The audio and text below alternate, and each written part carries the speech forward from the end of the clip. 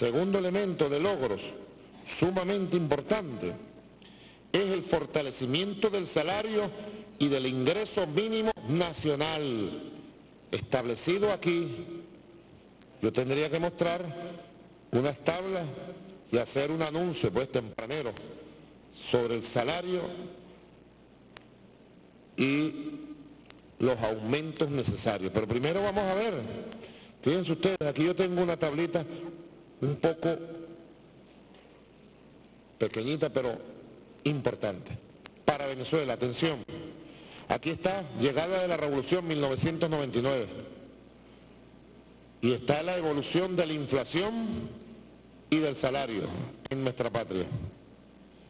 Ustedes saben cuántos aumentos en 15 años de revolución hemos dado de acuerdo a la política socialista de nuestro gobierno y de acuerdo al mandato constitucional para defender el salario de los trabajadores y trabajadoras en 15 años 25 aumentos salariales y 25 aumentos de pensiones, récord mundial. No hay país que haya hecho eso en el mundo, no existe. 25. Y aquí están, miren la marcha. Año 99, 2000, 2001, 2002 de sabotaje petrolero y 2003. Y aquí, en el 2000, por ejemplo, el año 2002, que fue un año de sabotaje duro, comandante Chávez dio el aumento de 20%. Que cuando llegó Pedro Carmona Estanga y se autojuramentó como presidente, derogó el decreto. Fue lo único que hizo como presidente de facto, derogar el aumento salarial. Allí están, pues, ahí están los guarimberos. Ahí están. Vino a hacerle guarimba a los trabajadores aquí. Año 2003 dio un aumento de el 30% promedio. Año de duro para la economía de sabotaje. Y haciendo de tripas corazón, defendió el salario del comandante por encima de la inflación. Y así ha sido, miren. Aquí está la línea azul que ustedes pueden observar, es la línea inflacionaria. Y la línea que es un mal estructural de la economía, acentuada por la guerra económica permanente de la burguesía contra el modelo socialista, contra el pueblo trabajador. Pero no han podido con nosotros, ni podrán. Miren nosotros cómo nos despegamos aquí, en la defensa del salario. Por encima, muy por encima de la inflación que lamentablemente hemos tenido que padecer producto de los males estructurales de la economía rentística y de la guerra económica. Y de la guerra económica. Este año, yo inicié el año defendiendo el salario, sabiendo lo de la guerra económica del año pasado y teniendo información de que se iba a mantener una guerra de especulación, acaparamiento. Ustedes saben, estamos en una nueva ofensiva económica para vencer con producción, con trabajo y con la ley de precios justos, esos fenómenos de la guerra económica, de la burguesía, contra el modelo de inclusión social y, bueno, yo di un aumento salarial ya preventivo, vamos a llamarlo así, en el concepto chavista de un sistema de defensa del salario. Eso es lo que estamos instalando y hemos instalado. Un sistema de defensa del salario permanente, sistema constitucional de defensa del salario contemplado aquí en la moderna ley orgánica de los trabajadores y trabajadoras. Yo di un primer aumento del 10%, preventivo.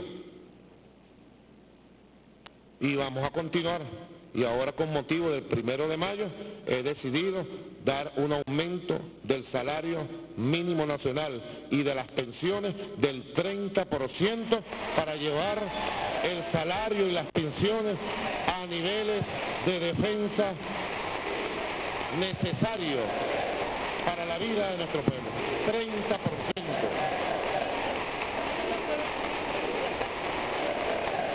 Quiere decir, queridos compañeros trabajadores que me escuchan, compañeras trabajadoras, quiere decir que este año ya llevaríamos en este sistema de defensa del salario único, llevaríamos un 43% de aumento ya cuando se esté aplicando a partir de mayo el 30%. Pensionados y pensionadas, atención, quiere decir que vamos nosotros avanzando y por allá evaluaremos también el último trimestre del año otra vez y con el trabajo del pueblo, de los trabajadores, con la conferencia económica de paz. Creo en la buena voluntad y en la confianza que estoy depositando en los sectores empresariales que quieren producir de verdad y que les duele el país. Les sigo haciendo un llamado a producir, a unirnos, a unirnos para producir. Y confío con la bendición de Dios, el buen trabajo, las políticas correctas que estamos aplicando, que a final de año estemos ya estrangulando y venciendo la perversa inflación inducida y estemos nosotros transitando un buen equilibrio en los precios de los productos y de los servicios. Y allí evaluaremos, ya llevamos 43 por aquí, allí evaluaremos si hace falta otro ajuste, tenga la seguridad la clase obrera que así lo haré, porque yo soy un presidente obrero comprometido con la clase obrera que trabaja, que lucha, con la familia trabajadora venezolana. Así que anuncio, y bueno, aquí vamos, entonces fíjense ustedes, aquí en esta escala nos disparamos para el cielo. ¿Eh? Aquí está el ingreso mínimo legal, el ingreso mínimo legal, aquí está, que es la suma del ingreso, salarial básico mínimo, que era de 3.270, va a ser hasta el 30 de abril, hasta mañana, de 3.270, más 1.351 el ticket de alimentación. ¿Cierto? Bueno, esto suma aquí 4.621 y la medición de la canasta alimentaria normativa más o menos ha llegado a unos 3.730 y estamos encima de ella. Sabemos que hay procesos especulativos y estamos encima de ellos, por ejemplo con el café, y ya se ha ordenado regularizar eso. Y yo les pido la ayuda a ustedes. Aquí están los trabajadores del café, ¿verdad? Bueno, que el café, que producir café y garantizar que se distribuya y se venda al precio justo, porque bueno, aquí no se toma un café. ¿Ah? No dejemos que nos afecten algo que producimos en el país y con gran calidad, el mejor café del mundo. Aquí está, los logros de la ley del trabajo, la defensa del salario real de los trabajadores. Aquí está, miren, datos concretos, compañeros, del ingreso, de acuerdo a todos estos datos estadísticos el ingreso total por medio por hogar en el segundo semestre del año pasado, a pesar de la guerra económica. Aquí se incluye ingresos por trabajo, ticket de alimentación, pensiones sobrevivientes, o sea, lo que ingresa al hogar, por lo menos dos salarios ingresan, integrales. Bueno, el salario por hogar, 8.514. Aquí sí no les despegamos a la canasta normativa. Es lo que yo decía ayer, en la Conferencia Económica de Paz de Oriente, en Venezuela hemos creado con la justicia y la igualdad social un mercado poderoso que es la gran oportunidad para el desarrollo de las fuerzas productivas venezolanas. Aquí el que quiera producir lo que quiera producir tiene garantizado un pueblo que trabaja y tiene capacidad para acceder a ese producto, a ese servicio. Esto es algo milagroso, queridos compatriotas. Debemos saberlo, valorar, cuidarlo. El que no cuida lo que tiene, a pedir se queda. Así quiere la burguesía guarimbera, la derecha guarimbera, que no cuidemos la patria, que no cuidemos el proceso de construcción de nuestro socialismo, que lo desechemos. ¿eh? Confundir al pueblo, no, tenemos que cuidar el proyecto del comandante Chávez, el modelo socialista, el modelo inclusivo, el modelo popular nuestro bolivariano. Cuidarlo para que no se cumpla la máxima entonces que acabamos de repetir. El que no cuida lo que tiene, no nos vamos a quedar pidiéndole a nadie ni vamos a ser esclavos más nunca de ninguna burguesía ni de ningún porque hemos conocido, como decía el libertador, la libertad y sabremos mantenerla y defenderla. Miren cómo queda entonces. El salario mínimo actual estaba en 3.270, que ajustamos en enero. Ahora va a quedar las pensiones, atención, y el salario mínimo que debe obligar al ajuste de todas las tablas. Ya sobre eso se va a hacer un trabajo y haremos anuncios.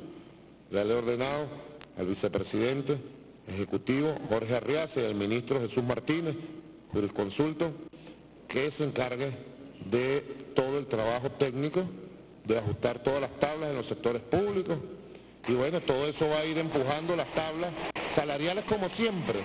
Este es un sistema quiero decirle a Venezuela, es un sistema que ha demostrado ser exitoso para defender el salario, para defender el salario.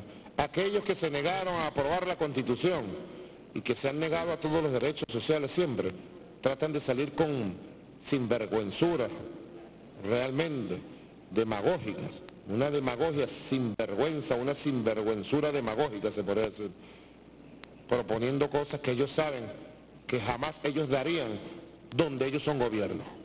Porque no le cumplen ni siquiera los contratos colectivos donde ellos son gobernadores y donde ellos son alcaldes. No tienen moral para hablar porque jamás han trabajado, jamás han sabido lo que es ganarse un salario con el sudor de su trabajo y su esfuerzo. No lo saben esa burguesía. Así que no te vistas que no vas, no te metas en este entierro, que no tienes velas para este entierro quedaría el nuevo salario. Pasaría de 3.270 bolívares las pensiones a 4.251 bolívares con 78 céntimos, inclusive los céntimos. Y la suma, y la suma de el salario con ticket de alimentación daría, elevaría el ingreso mínimo legal, préstame la tabla de ingreso mínimo legal, lo, lo aumentaría a 5.600,78 bolívares. 5.602 bolívares. Vamos a decirlo redondeado mejor. El salario con el aumento mínimo de 30% el salario mínimo con el aumento del 30% quedaría en 4.251 bolívares. Y con la suma del ticket de alimentación daría el ingreso mínimo legal de 5.602 bolívares. Estaría aumentando un 43% solo en el año 2014. Estas son verdades. Yo les voy a regalar a ustedes todas estas láminas que son las estadísticas oficiales de nuestra patria, para difundirlas, debatirlas, que la maneje la clase obrera. Con la verdad nosotros demolemos tanta campaña de manipulación permanente que hay.